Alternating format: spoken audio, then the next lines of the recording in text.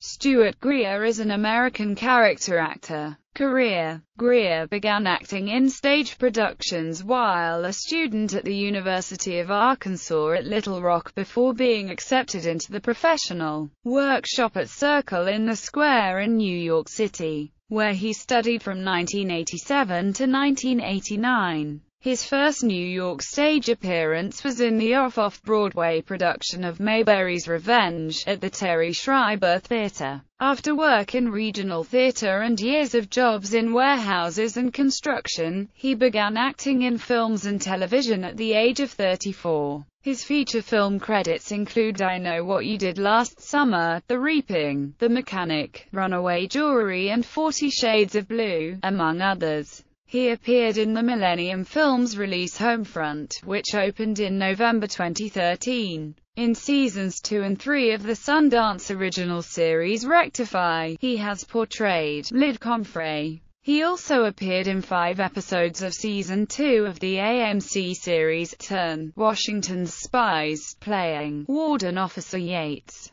Greer played Sheriff Bernie Watts in the 2015 Lionsgate distributed film American Ultra. He is the father of actress Rayndon Greer. Filmography American Ultra, Homefront, The Mechanic, The Reaping, Forty Shades of Blue, Runaway Jury, I Know What You Did Last Summer.